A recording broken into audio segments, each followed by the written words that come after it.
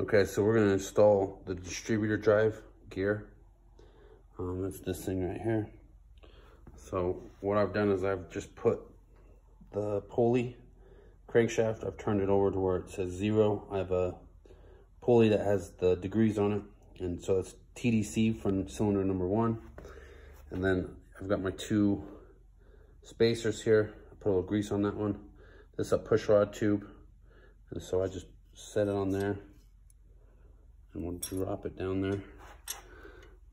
Kind of keep it centered. You can see it's okay. And then I'll take, put a little grease on this one. Not too much, just a little bit. Keep it sticky.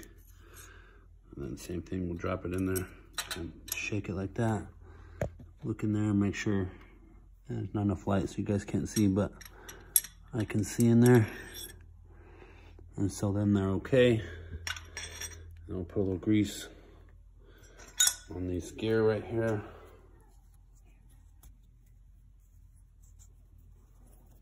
And I'll put a little grease on the end right there. Move a little bit more.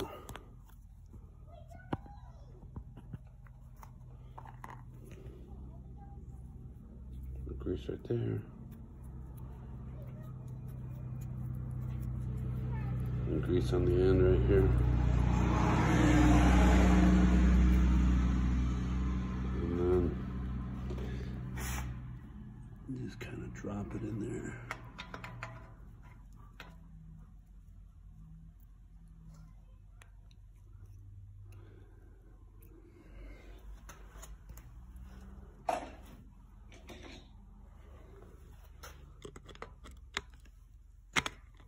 And you see how I just took and turned it and went and settled in there. So that's there. And we got to sink a little bit more. Just take a, a screwdriver and just kind of catch the edge of it. It's slotted, push it in and, and rotate it just a little bit. Make sure it turns.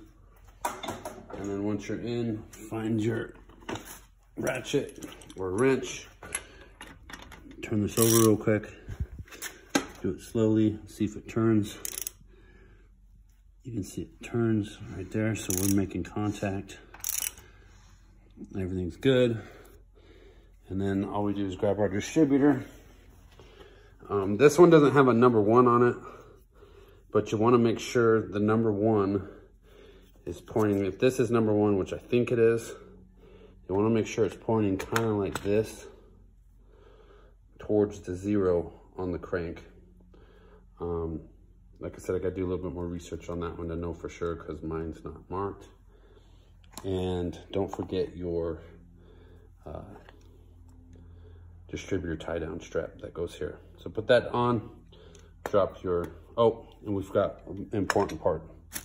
Don't forget to put your spring in.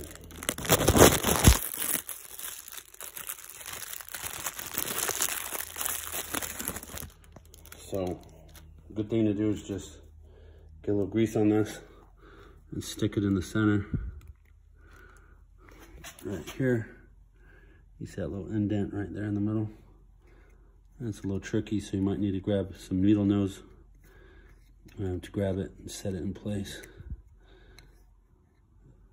All right, there's the spring. You can see how it sits right there in the middle. Um, like I said, just put a little grease on the end of it so it stays and then put your strap on, drop your stripper in. Uh, if you guys have any questions or comments, I'd be happy to hear them. Thanks.